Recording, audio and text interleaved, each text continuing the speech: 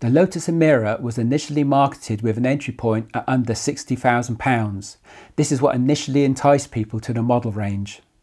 So how did we get to where we are today? Where we've got two first edition models, the AMG i4 with a base price of 81,495 and the Toyota V6 powertrain model at a base price of 85,995. Also, we currently have over 60 models being advertised in the classifieds for sale. How did that come about?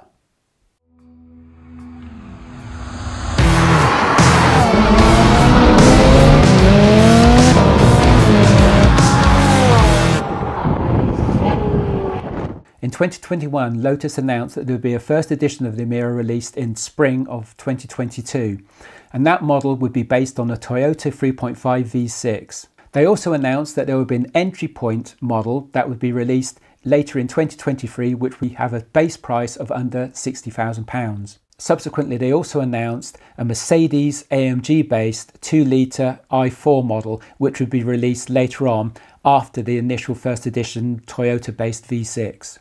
There was also a statement made by Lotus around March of 2022, I believe, that the first edition Toyota based 3.5 V6 was going to be released at 71,995, but that never happened. That just got forgotten about somehow. But I have seen an announcement, um, uh, I have seen a statement from, from Lotus online where they have said that it was going to release initially at 71,995. Now the model that I ordered had a base price of 75,995 and with adding in the full black pack etc that took the price up to around 82,000 pounds on the road. That's included all taxes so that's VAT and road tax etc. Now it's been well publicised that the first edition models had multiple delays. This impacted Lotus to such an extent that they had to put the prices up during the initial production run in 2022. Now people were told by Lotus that there would be no impact to their pricing if they had a deposits down and those deposits were locked in. But Lotus went back on that word and upset a lot of customers because those people who had their, their deposits down and their prices locked in or supposedly locked in, their prices were increased accordingly. However, the people that were given an initial draft bill date and collection date their prices were actually locked in and, and their prices weren't increased. So a lot of customers who had their deposits down, they were really upset, especially customers who had their deposit down on the AMG twin turbo 2 litre. As of today, October 2023, the Toyota based V6 3.5 model has a base price of 85,995 and the Mercedes AMG base has a base price of 81,495. Now that's a considerable shift forward than the initial marketed price of under £60,000. Now obviously these are first edition models and these first edition models have a very high specification so they were never going to be the models that were released at a price under £60,000. That entry level model was due to be released after the first edition models have completed their full production run. Of course we're not there yet due to multiple delays that have occurred. So we can see there that there is still perceivably an entry point Lotus Emira that's going to arrive after the full initial production run of the first editions but when that's going to arrive, nobody seems to know. It certainly isn't advertised on the Lotus website at the moment.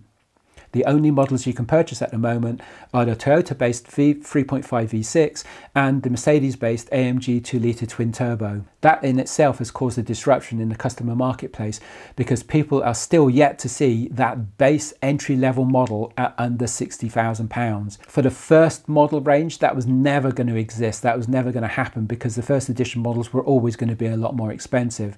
And of course, a lot of people didn't take into account the APR on finance, the additional costs of financing, and the additional costs of actual on the road. You know, for example, registration plates and also value added tax, and of course, on the road tax. If you're enjoying the video so far, please think about taking some time out and clicking that like button. And also, if you like this type of content, then please make sure you subscribe to be able to get notified for all future content. Now back to the video. Now looking at the classifieds, there's over 63 Lotus Emiras currently marketed for sale. Why is that?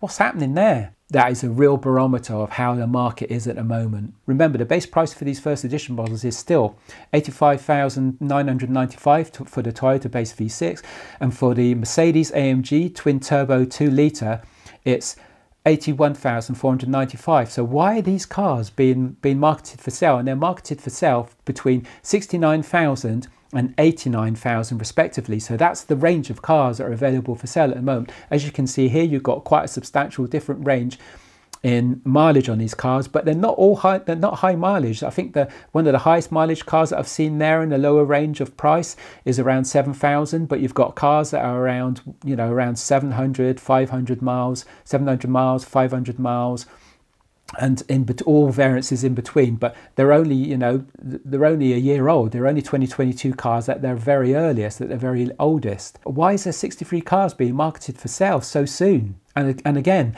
a lot of these cars are marketed with very low mileage, so these cars just haven't been driven. Well, my take on it is that a lot of these cars, first of all, were purchased perceiving that people were going to be, be able to sell them for overs. And of course, with the change in the marketplace, with the financial downturn, and with the delays, etc., that have occurred, which has shifted all the production run later on down, which has moved that production run closer and closer, and, and also now into this financial downturn, that those overs just are not realised now. They're just not going to be realised and not going to be available. So those people who've bought those cars expecting to be able to make a profit on them is putting are putting them onto the market now before perceivably that the market is going to get any worse because even though this isn't a good time to put cars on the marketplace, we're coming into winter now in the UK, people are putting them onto the marketplace now because they're perceiving that in springtime 2024, the market's going to be even worse. The downturn's going to hit even harder.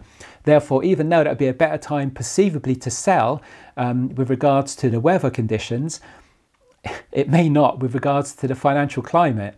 So that's perceivably why these people are putting these cars on the market at the moment. A lot of those people, again, this is those people who are looking to make a profit out of the cars, did, were never going to really keep the cars. In addition, you also have the people that have been impacted by the financial downturn, and it's impacted them in many ways. Now, it may have impacted them by the fact that they bought the car on finance, and they found that when they refinance that the finance figures are going to go exponentially a lot higher. Um, at the you know previously when the Lotus Emira was around you're looking at finance rates of around 7 7% APR now that was through Lotus's direct finance scheme. That was the only way you could finance the car at the time which was absolutely flipping crazy I went into great detail about that in my previous video and I'll drop a link again in the description below um, so that you can catch that video. And those APR rates of course have gone up substantially now with the, with the increase in the Bank of England interest rates. So those those finance options that existed back in the day in 2022 and early 2022 just are no longer available now. Um, so those people may have been impacted by those by those finance rates, and if those people have bought those cars recently, they will have paid exponentially a lot more on finance. So their finance rates rates would be a lot higher. And with the downturn in the economy, it may be that they've been impacted harder in other areas of their of their life um, mortgages, etc. It may be that their mortgages come up for renewal, and of course, the interest rates have meant that the mortgages have substantially increased. If you've got to go along with the with the new Bank of England base rates, obviously your mortgage rate will be at a position higher than the Bank of England base rate. So that would have impacted people substantially as well. And that would have meant that obviously luxury goods, luxury items then have to go. And that may be why some of these Emiras are on the marketplace at the moment as well. And I'm, I'm pretty sure that is why a lot of these Emiras are on the marketplace at the moment too. And looking at these cars that are being marketed and classified, say you've got low mileage cars from around 69,000, between 69,000 and 70,000, you've got low mileage cars being available. And these are first edition cars, remember, so they're very highly spec'd anyway even if you didn't tick the full black pack and um, some of the other various options, then you're still having a very highly spec Lotus Emira because the first edition models were very highly specified. So if you get if you go for one of these low mileage cars around 69 to 70,000 pounds, which are marketed at the moment, it's a no-brainer. I mean, why would you pay 85,995 as the base price to get into a brand new Lotus Emira now. When you can go to the classified, you can get one for around 70,000 pounds, 70 to 71, 72,000 pounds. I don't want to do Lotus a disservice because I think the, the company is fantastic and I think it's brilliant that they've produced this car and I still really love the Emira. Uh, but I'm not going to be buying a new Emira now, not with all these cars being available in the, in the marketplace. It's supply and demand, simple supply and demand with 60 odd cars available in the classifieds ranging from 69,000 to 89,000 pounds. That's obviously based on age and specification, but as I say, they're all first edition models, so they're all going to be highly spec anyway. So it would be based on Um, the diff slight differences in specification and of course mileage, mileage and age, that would be the biggest thing, but you're only talking about one year difference and the mileage isn't going to be substantially high anyway. I think I saw a couple of cars there around over 7,000 miles. Um, but that's still not a high mileage amount really for these cars. Maximum they're going to be a year old, so how high can the mileage be?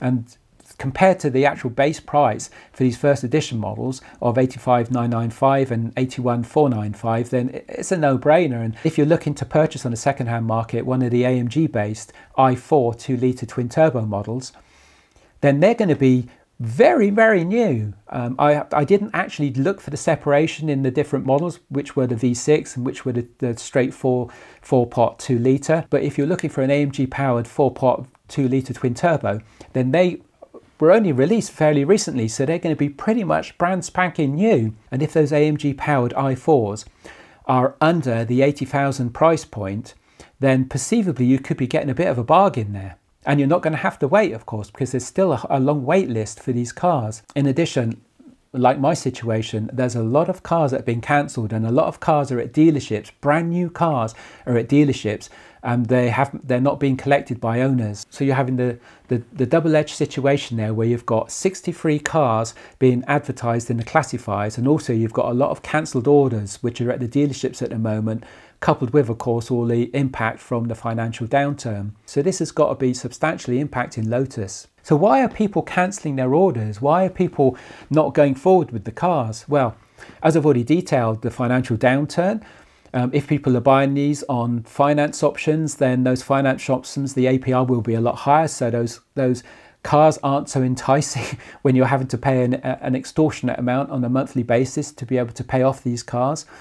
So that would be a lot of reason why people have decided to cancel their orders. Also, I suspect a lot of the people who had their deposits down and then had their prices increased, even though it was promised by Lotus that there would not, not be any price increases for those who had hard and fast deposits down, I suspect a lot of those people, people decided to cancel as well because it made them very unhappy. They felt that Lotus went back on their word. The constant production delays also, that would have caused a lot of people to cancel. And I know that was one of the major factors for a lot of people cancelling. They just were not happy with the constant delays in the production run. Also, a lot of people had great expectations of the Mercedes AMG based i4 twin turbo 2 litre model. But when the first reviews were released, with journalists actually getting hold of the first AMG 2 litre twin turbo models, the reviews were, were quite lukewarm. A lot of the journalists were talking about turbo lag, and because, of course, that AMG 2 litre twin turbo had been tuned substantially higher in other car models, in other, in other models where it had been used in the Mercedes range.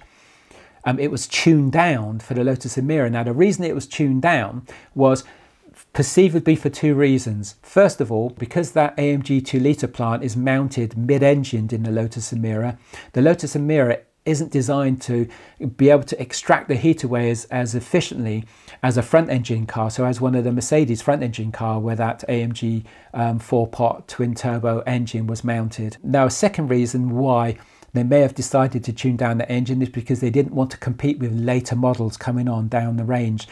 So it may be that they're deciding that they're going to tune the engine up for later models. Now, perceivably, they have to be able to um, provide better cooling for that engine, um, which they can do with body body changes later on, body design changes later on with the Lotus Emira.